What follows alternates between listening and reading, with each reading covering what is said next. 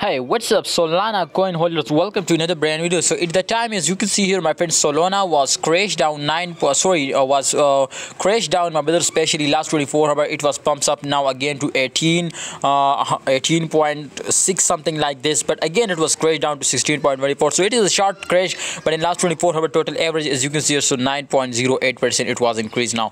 But remember, guys, this time the volume was decreasing, so that's why the price was also decreasing now. Remember, my brothers, if in this time, my friend we look out this and only the Solana movement. So it was also temporary and just for form. FOMO, the CPI report, my friends, was come now tonight. So that's why, my friend, it will be take a short pump.